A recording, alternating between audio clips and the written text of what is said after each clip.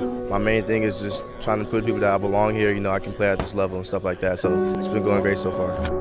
K-State electing to return this one. Youngblood has running room past the 30-yard line. Kicker to beat. Goodbye. Youngblood takes it the distance. 98-yard kick return for a touchdown. I feel like I've been, I've matured as a player. I'm starting to get, you know, being a receiver, I'm starting to get that down. Felt like he had a really good head on his shoulder. I think it's pretty clear Youngblood had the talent to be able to at least carve out some role within the offense this year. Sucks today to hear about Josh Youngblood.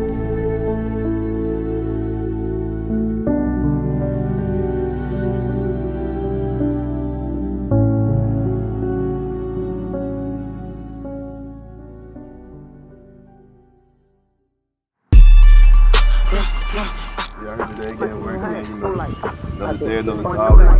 Just putting the in, man. In the club, popping with my niggas. Kodak popping with my rocking on them jiggers. On the money.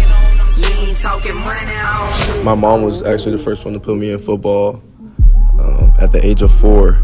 And she had to sign a waiver because I wanted to play with my brother. He was two years older than me. He was six. And, you know, I always wanted to play football. I always wanted to, like, be like my brother, you know. He's older than me, and he, he started playing, so I was like, Mom, I want to play. So, you know, that's how I first got into the sport. And ever since then, I've been loving it. Feel me?